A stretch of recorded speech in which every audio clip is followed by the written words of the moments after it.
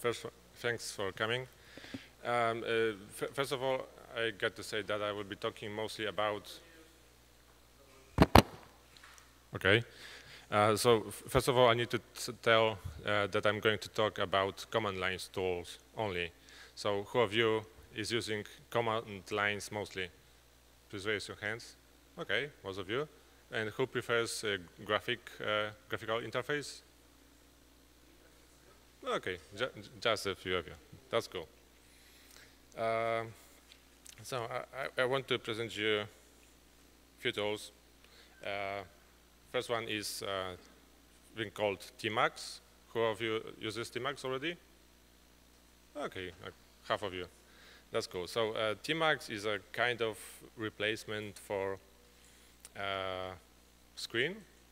Screen allows you to leave your session open, to detach from it, attach later. Uh, but the reason why I'm showing you Tmux is because it is still actively uh, developed. Uh, it has much better memory management. Uh, you can even use Tmux for pair programming. Uh, when you try to attach to same session on, from different uh, hosts, you can see the same thing even if you're not sitting, sitting next to uh, another person. Uh, so there'll be a live demo in a few seconds. But the next, next thing I want to show you is uh, Zsh. Who of you knows and uses Zsh?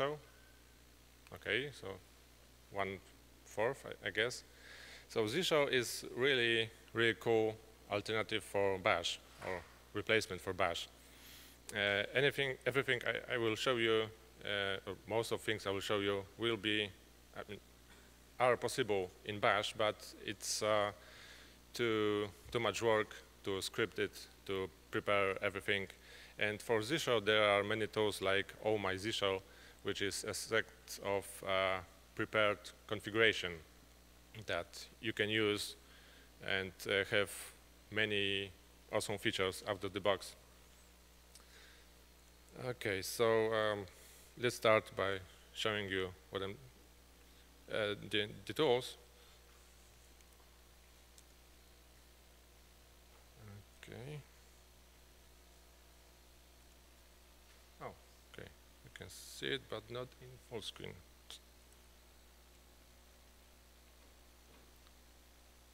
Okay, you should be able to see what I'm typing, uh, so there's no magic involved. Uh, what you can see is a basic Zsh uh, terminal right now. Uh, so let's start by showing you some of its features like autocomplete. So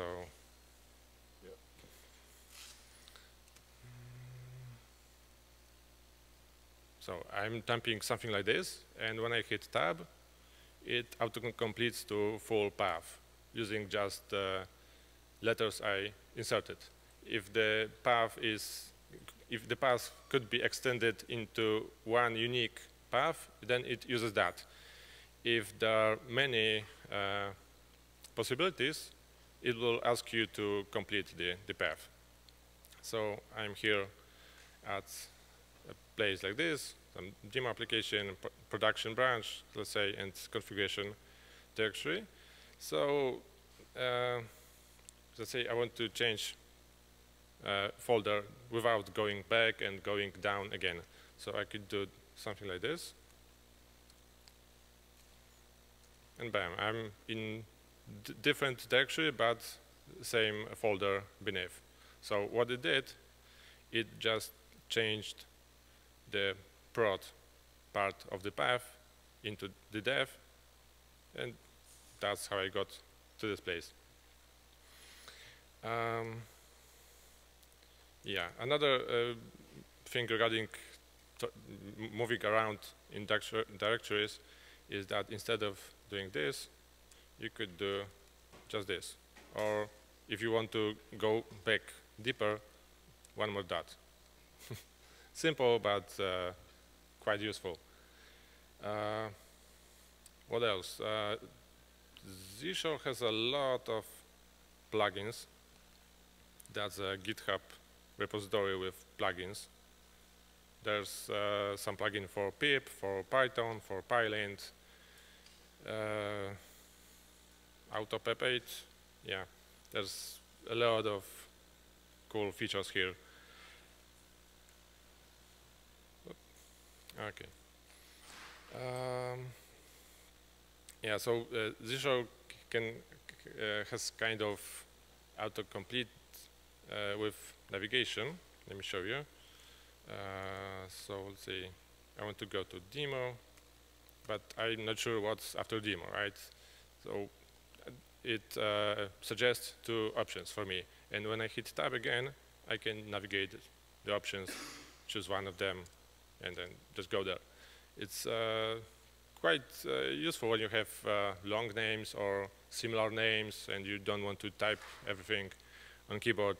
Just navigate, choose the proper option, and uh, go follow from there. Oh, I guess there are just a second. Oh, now you can see my keys. Sorry. Uh, what else? There's also this uh, nice, nice tool called uh, Auto Jump. Yeah, you can Google it. Uh, basically, what it does, it remembers the paths that you visited, so you can uh, go there faster just by typing uh, uh, few letters. So I, I, want to go to the directory called directory called uh, economic pie. So I just type some some of uh, some part of the folder name or the file name. It works with VI as well and other things, and it just auto-completes to th this path because it's one of the most common that I used. Uh, and here's another feature of uh, show it has a Git plugin that shows you you are in a Git directory and what kind of branch you are using. And uh, what's more, whenever there's uh, some changes in your branch, un uncommitted or unstashed, there, it can show you that there is something you should see. You should check it. Uh, yeah, so more or less that's uh, that's it for now for for, uh, for this show. There's, uh, the other tool is Tmux. So this this Tmux session is a bit pre-configured. That's where you can see different colors than by default and some date, host name, and so on. So what you can see is that in status bar uh, at the bottom, there's a window name and panel name. So let's change the panel name. Oh, that's window name, sorry. Uh,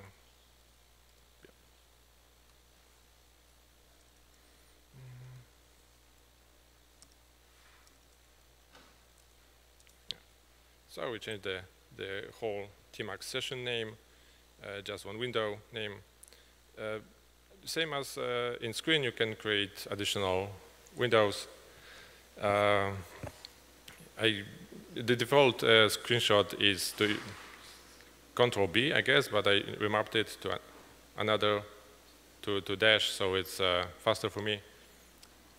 So you can create as many windows as, as you want, navigate them using next, sorry, next uh, previews, using index of the window, you can uh, split the window horizontally, split it uh, vertically. Yeah, and you can have, you know, different things in different window. Maybe not that useful when the folder is so big, but uh, yeah. And what I said at the beginning is that you can detach from Tmux, do something else, uh, and then Tmux attach. It attaches to default session. You can have uh, multiple sessions, and then you, you need to provide uh, session name to attach to a specific session. Um, what else? Uh, let's try attaching to the same session in another window. Yeah, you can see it. oh. yeah, it works. Uh, I have two windows here with same session attached, and you can you can see that if I change something in one of the windows, it automatically uh, synchronizes with another one. So that's some kind of way to do pair programming in console uh, when you're working remotely with somebody. Um, I said that there's uh, this set of configuration and plugins called Oh My Z but there's also a thing called Prezto or Antigen. Basically, it's quite similar project some, created some, by somebody else who thought that uh, oh my Z shell isn't so clean, isn't so well kept, and should be rewritten. More or less, it gives you the same features, same things. Uh, it's maybe, uh, uh yeah, it's definitely up to you, whatever you want to use. Some people claim that uh, Prezto or Antigen are faster because they are less bloated. Um, yeah, and another alternative to to Bash and Z as well is shell called uh, Fish. I don't use it personally, but it has quite similar features to Z It's pre-configured uh, out of the box. It uh, uh, it differs in a way that it can be configured using just web browser. So you use GUI interface to, to configure your command line shell. That's quite funny, but some people prefer that to, uh, to regular shell. Uh, yeah, there's a bunch of other useful uh, stuff regarding to Tmux. Uh, like you want to kill some app, it also uh, can suggest what you want to kill. So you can choose from nice list of running processes instead of just uh, selecting pro process ID from the list. Saves uh, a few seconds, but uh, still it's quite quite useful. And regarding Tmux, uh, there are some tools like uh, Tmuxinator, Teamocil, or Tmuxomatic, and all of them allows you to save your uh, Tmux session and start it from scratch whenever you restart your laptop. So let me show you that.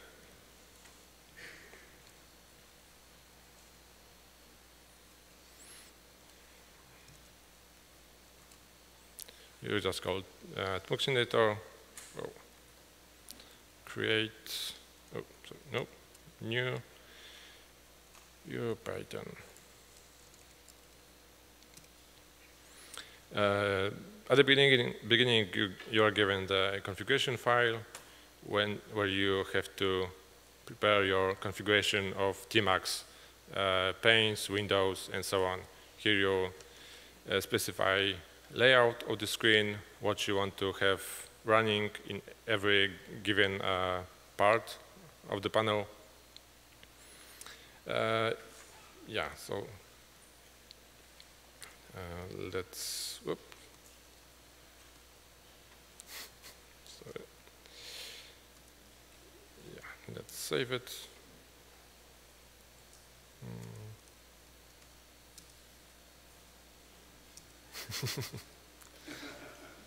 hmm.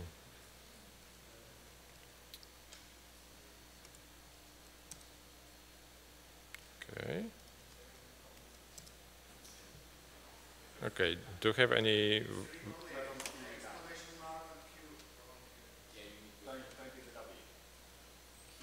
Q and okay Oh. Okay. So I, am still trying to learn Vim, as you can see. Uh, so uh, there's another comment to Tmuxinator. It's uh, just start your Python, and it starts with uh, oh, you didn't save the configuration. I, I see. Let me try again.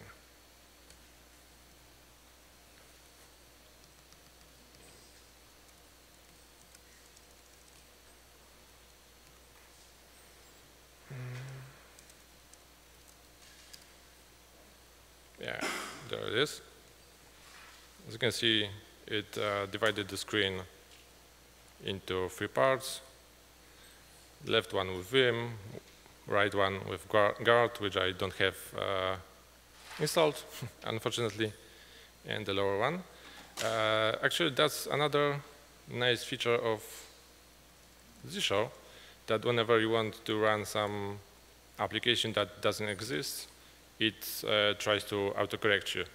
So there's no su such thing as Vim. So maybe you meant Vim, it, and you can say that no, uh, yes, always, and something that uh, means never, I guess. So yeah.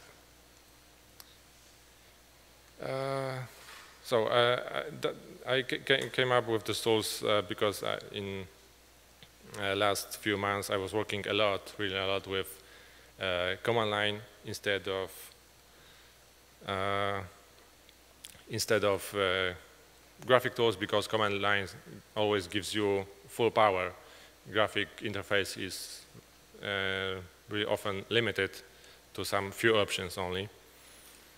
Okay, so we had light demo, and there's also one last thing I want to show you.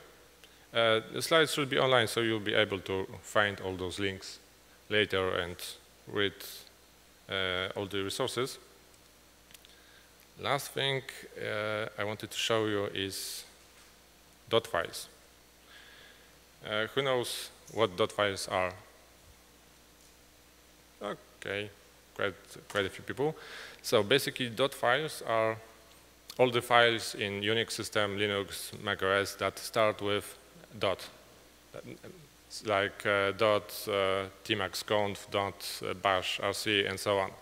And all those files store your configuration, your preferences for applications, uh, things like that. And every time you install new system, start using new laptop, or uh, get account on a new, new server, you want to uh, set up everything to, to match your preferences. Uh, instead of doing that manually, you can keep those files in Git repository on GitHub, GitLab, whenever you want. And the idea is to uh, start up a new environment from scratch uh, to, to the point where you feel familiar, familiar like uh, at home. So you know everything uh, is working the way you expect to, all the packages are installed and you don't need to uh, care whether it's there or not.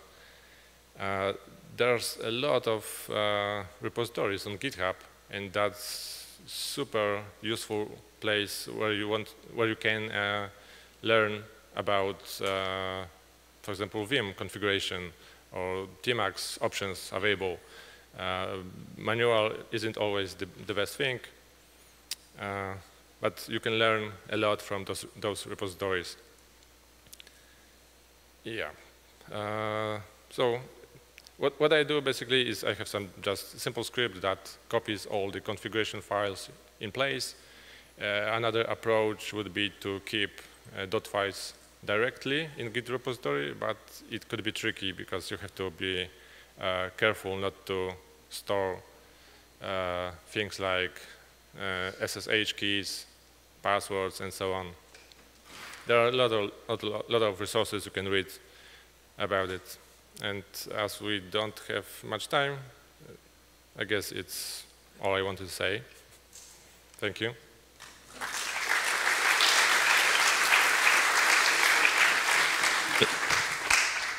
Yeah, okay. Thank you so much. First question. thank you for your talk. Uh, I would like to ask you for about uh, Z, Z, Z shell. In the beginning, you show you shown that you showed that uh, if you type only the first part uh, of uh, of a path with the letters slash uh, letter slash, and it is unique, it will be automatically expanded. Yeah. Great. Uh, you can also configure the prompt in Z shell that it shows just the parts of the of the path. Do you or anyone else uh, in this room know how to tell him in the prompt to show the unique path to your current directory that is shortened to the minimum possible yeah. number of letters that can identify uniquely the whole path? Oh, you mean you want to see only first letters of the path? I want to see if, if, there, if there is only one directory that starts with an A, I want okay. to see just the A. If there is one AAX and ABX, I want to see AA or AB, which mm -hmm. would allow me to copy and paste uh, these paths and then just yeah. press tab and get the whole mm -hmm. path automatically. Does anybody know? Because this is something that I am talking to you about it since 30 seconds, but it's something that I was not able to formulate correctly in Google to find an answer to that. Thank you. Well, uh, as I showed, there are a lot of plugins for Zsh. Maybe one of them does the thing you're asking about. Not sure, sorry.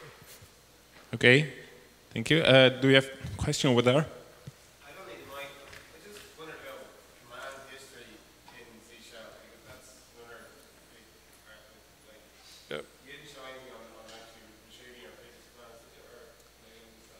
Yeah, I didn't. Mm -hmm. I, yeah, that's right. I, I, forgot to show you about uh, uh, history. So history works like this. You type Uh, some command, and then using arrows up and down, you navigate history for that, that command. So, yeah. Okay, thank you. Any more question over there and second over there?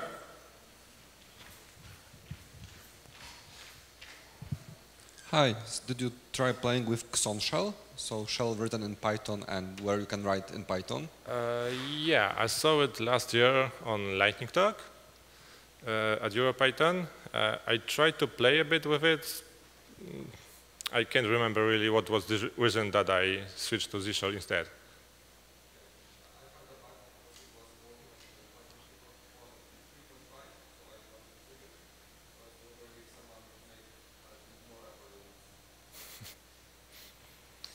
Yeah, uh, uh, well, maybe a lot has changed during uh, last year, and maybe it's worth trying out again. Okay, thank you. We have time for one or two quick questions. Uh, as you were uh, showing us that the indicator that the repo has changed, you had this like small Unicode X. Yeah. Do you have a terminal that support, supports Unicode? And what is the version of the terminal? Because mine doesn't have that. Uh, I'm not really sure, but it could be the matter, just a matter of the font used in the terminal. There's a bunch of different uh, teams for Z-Shell. Each of them might use different font, might require different font to show all the things, like uh, arrows, thunders, hearts, and so on. There's a lot of a lot of to choose from. Okay. One last question. Someone? Ah, okay, yeah.